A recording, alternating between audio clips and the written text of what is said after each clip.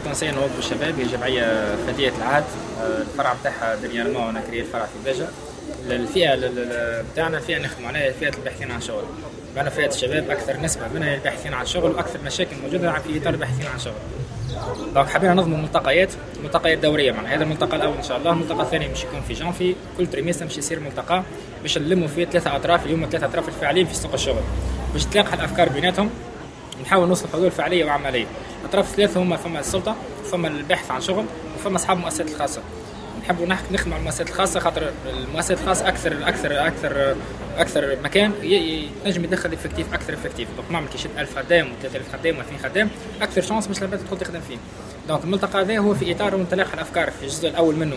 تلاقي الأفكار شنو الواجبات والحقوق نتاع السلطة الواجبات والحقوق نتاع باحث الشغل والواجبات والحقوق للمؤسسات الخاصة. البرنامج الحصة الثانية باش تكون ورشات عمل باش تكون فيها نحاول باش تكون فيها انتدابات فعلية أو تربصات على الأقل تكون فعلية ونخرج بنتيجة فعلية وعملية.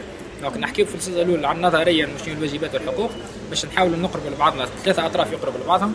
ثم الجزء الثاني تكون فيها ورشة عمل نخرج منها إن شاء الله بانتدابات جديدة أو تربصات.